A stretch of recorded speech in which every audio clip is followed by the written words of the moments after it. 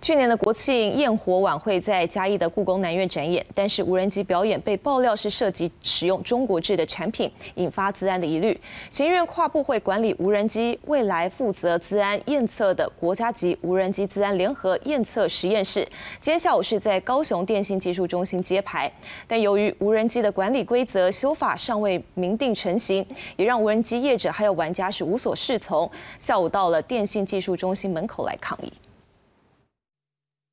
将无人机砸在地上，业者气愤控诉政府扼杀产业发展。国家级无人机资安联合验测实验室一号下午在高雄电信技术中心揭牌，未来将针对无人机进行资安验测，但由验测标准等尚未定定，让无人机业者及玩家无所适从。治安认证这边和民航局这边，他们两各部会不呃不协调啊，各个不协调造造成我们现在目前在做申请的动作哈，没有办法好一个很合法的一个程序去做执行。无人机全面纳管引发业界不满，起因是二零二二年国庆焰火晚会使用大量无人机进行表演，却被揭露使用无人机疑为中国制造，引发治安疑虑。业者担忧，若未来强制一机一测，依电信技术中心公布的验测价码，高阶炉军用机验测费用出估五十万，出阶也要十五万，一般业者或玩家根本无力负担。国内的话，制造厂他们要送验，以形式审验为主，所以不是一机一测啊，各位不用担心，以形式审验为主。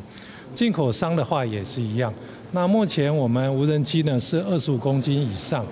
要做刑事审验。民航局澄清，验测原则上会比照汽车采形式检验，非一机一测。数位发展部长唐凤则进一步解释，验测能预防骇客入侵等状况，保障治安及飞行安全。好比像说，它不会因为 GPS 的讯号在旁边去干扰它，然后从操作的人看起来，它还停在同一个地方，但其实那一台无人机已经被引导到别的地方了。民航局表示，有关无人机管理规则的修法，三月七号会邀集业者、进口商及使用者等开公听会，也会预留两个月时间让各界表达意见后，预计最快七月上路。记者陈焕、许正俊高雄报道。